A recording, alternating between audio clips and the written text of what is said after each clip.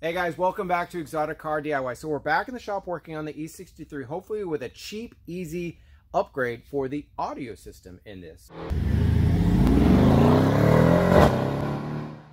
My silver car had the B&O or Bang & Olufsen system in there. And don't get me wrong, it sounded good, but don't feel bad if you had an HK because now I've had both, so I can say this. It's not $5,500 better. so either way, there's improvement for the bass side on both. So that's what we're going to be doing today. We're going to install like four 12-inch subs in here. No, I'm kidding. We're, we're actually going to be installing the JBL bass hub in here. So this is an unsponsored video. Nobody pays me anything to do this. Uh, so why am I not doing any big subs? Well, I'm not 16 years old anymore, so I don't need all the 12s. This thing's going to do a lot better than the factory sub, and it's going to be hidden. I hate having a box back here. I don't want anything aftermarket. I just want a trunk. Plus, it doesn't weigh very much. So anyway, the factory system is a little six inch sub here. And on the B&O, it's a little six inch sub down there. So we're just gonna be putting a 11 inch sub in the spare tire. So anyway, let's go and get started. Here's kind of the tricky part. I can't play any music for you without getting flagged by YouTube, but I'm gonna try to show you that it does work. So anyway, let's go and get started. All right, so here's one test we can do. Here is just a bass hertz test. So I got the bass going down, that is the frequency. So we're gonna see when we can't hear anything anymore, see if there's any kind of noticeable thing. So we're getting kind of in the low tones here around 60. I'm guessing it's gonna go away around 60 or 70. Still hear it, still hear it. Still hear it getting quieter.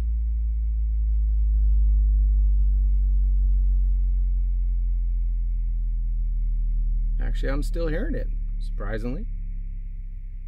There it goes. Almost faded away around 40, completely unaudible. All right, so anyway, let me give you just a quick overview of how this is gonna work. It's actually pretty easy install. Right here is our amplifier. We're gonna tap into not the line outs, but the line ins. So the RCA inputs into this. Sub's gonna go right here. There's our positive, there's our negative. That's gonna be it. So anyway, let's go ahead and get started. And the only really thing we need to install, I just bought this cheesy kit from Amazon. Some Chinese kit that comes with everything you need to hook up all the stuff. So probably the world's easiest sub to install. And hey, before we get started, hit the like button and subscribe, please. There we go. So here's the harness. These are your speaker inputs if you want to use a speaker. This is your remote to turn it on. Obviously your power, your. And then what we're going to use is the RCAs. So we can go and just plug this in and technically we can cut away all the speaker inputs.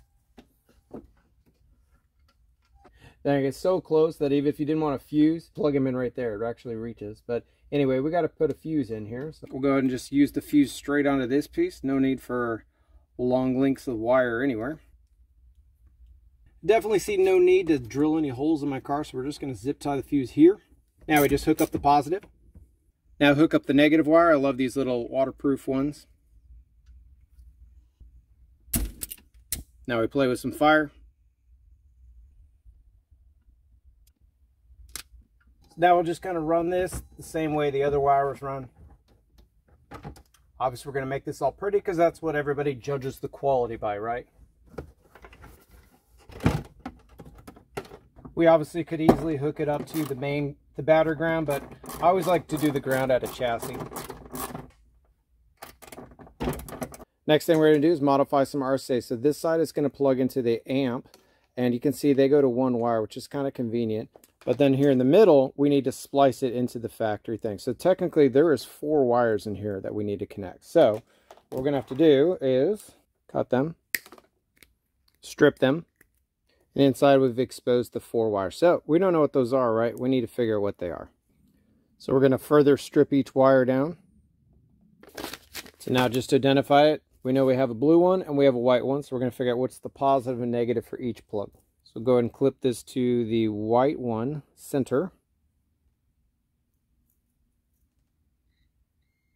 So white positive is yellow. Okay, white negative is white. Okay, black positive is black. And blue negative is blue. I'll put this all in the description, but real quick. On your amp, there is a connector with 12 pins. Pin 2 and 3 are brown and white. The white is your positive RCA signal. the brown is your negative RCA signal. Since there's only two signals, we need to combine it to make four inputs. What we're going to do is the white, the positive, is going to be the positive, which is black and yellow. And to the brown, we're going to have white and blue. And then that'll connect our cables. All right, so now with our wires together, this should be our positive on both. And not negative. And this should be our negative on both. So, good. All right, so here's the way. Here's how we're going to install this thing without cutting any holes. We need a piece of wire. You can use a paper clip, anything like that. What this is going to do is slide into the connector. You need to leave a half inch of metal. Now you can either solder this to this. Um, I don't think you can twist it around it with it staying. Or you can use, I'm going to use these shrink connectors again. Likely the best way is going to be heat shrink, but this is going to work easier if you don't solder. All right, it's not going anywhere.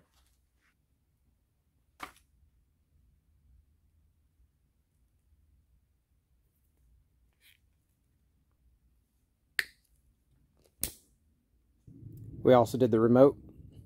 And I also put a link to the connectors in the description. All right, so now what we've created is a positive and a negative plug that wires into these that go in the amplifier. So now we got to do is put this in the car. Now we're back here in the trunk on the passenger side. So we need to get the wires down here. And I'm going to try to do this without having to take off all this stuff. So we're going to run the wire through this channel.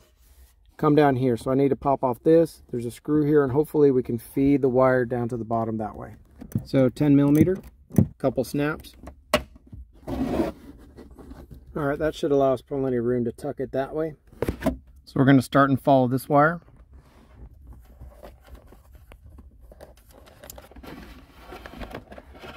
I've simply used the remote cable to tie a knot around the RCAs just so I can pull the bigger guy through.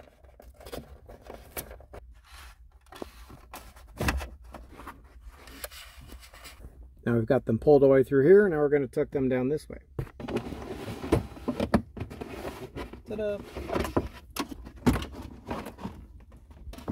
Now our cables have arrived. Now we just got to make them pretty. All right, so here's our subwoofer amp and here's our plug. It's unplugged. Like I said, there are 12 holes on here. If you spin it around like this, starting at the top left, that's one. The brown is two, the yellow is three, then it goes back up to the top. So we're going to plug into plugs two and three, which are this brown and yellow, I suppose. And then plug eight, which is this purple one behind the black, is going to be our power cord. Uh, it's the one in the middle, not the black little one on the side. So we can either A, leave this plugged in if you want to keep your sub plugged in, or you can unplug it, which I'm going to do, and just we're going to plug our wire straight in here. This one's going to the yellow. This is our RCA positive. This one's going into the RCA negative. Then our remote's going to go right here, which is pin number 8. And now we can test it to make sure everything's set up. Now, obviously, we just need to secure this in a way that it's not going to get bumped or anything like that. So I'm going to take the connector. I would tend to agree that if you left it plugged in and plugged it in on this side, it'd be a little bit more secure. But I'm not too worried about this. I'm not packing my trunk full of stuff.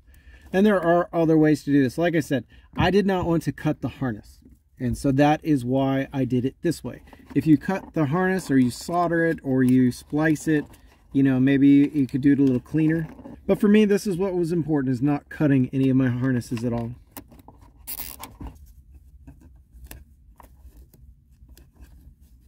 So now we've got our wires fed, so we just kind of need to find a nice routing. So I definitely prefer to keep all the wires together. So we're going to go and come over here. Now they're both connected and identical, so it doesn't matter which one you go into.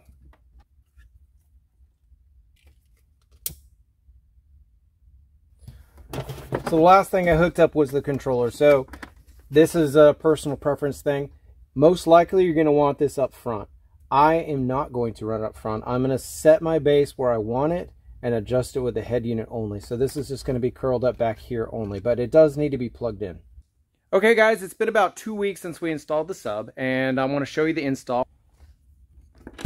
Overall, been extremely happy with this. Obviously, the trunk looks completely stock. There is nothing aftermarket about it except for just the factory amp is unplugged. And then, of course, here is the install. So the sub fits nicely in there. This thing closes nicely on it. Um, you know, the wiring is very simple. It's just one little loom over here. I did put all the factory tools just wrap up in a towel. That really doesn't bother me at all because everything else is basically stock. And like I said, this thing sits so totally flat. It does not seem to affect the sound because remember the B&O subwoofer is down here from the factory anyway. Well, guys, what is the verdict on the spare tire sub? It's all about expectations. If you're expecting it to sound like 212s, you're going to be disappointed. It does not sound like 212s. My expectation was hopefully I was like, maybe it'll sound like a good 8, just a little bit of improvement, and it has over-delivered from that expectation. It sounds great in my opinion. Uh, it gives an overall balanced feel to the stereo. It feels more like a high-end system. It is better than the B&O sub by far. So overall, I'm very, very happy. You can't beat the install. Like that took me like 30 minutes and I had to figure it out. Hopefully it's similar install for you guys. So, and for the cost, I don't think you can beat that uh, for what I was trying to achieve. Remember, I'm not trying to break any windows here or anything like that. And on another note, I got my ambient light kit installed. You can check out that video in the top right.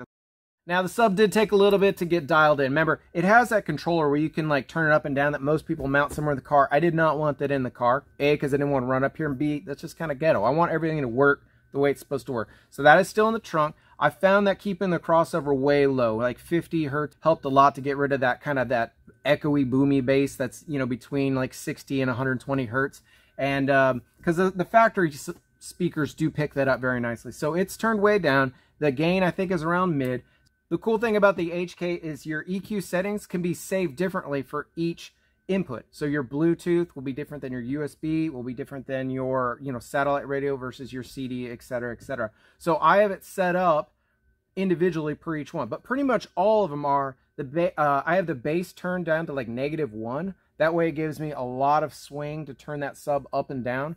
And the mids are around three, and then the the treble around eight. And I found that seems to work perfectly on almost everything. So I typically use Spotify, and so, you know, I can play around the bass a little bit more freely on that. But when I'm just listening to USB or satellite radio, it gets a little different, and I like it being able to, it how it saves everything individually, which which makes it really nice. Now I found playing music for the video doesn't really help at all, but I did do a bass test just to see if it hit lower, and I did find it hits much harder from that 40 down to 20 hertz while the factory sub kind of started to drop off somewhere around the 40 hertz and was completely gone around 35. So it does hit a lot lower. It'll definitely shake things in your car.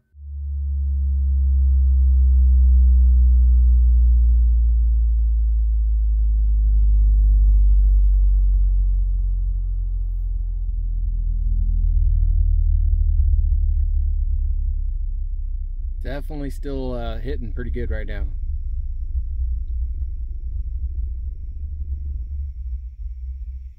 Probably right about there. 21 hertz where it drops off really well. So yeah definitely hits the lower and definitely shook the car a lot on its way down. So a lot better in this test. Overall i'm extremely pleased with this. I would recommend it. I am not sponsored by anybody so don't buy it buy it. I don't care. All i ask is that you hit that like button on the video please. Anyway guys thanks for watching and be sure to check out my other videos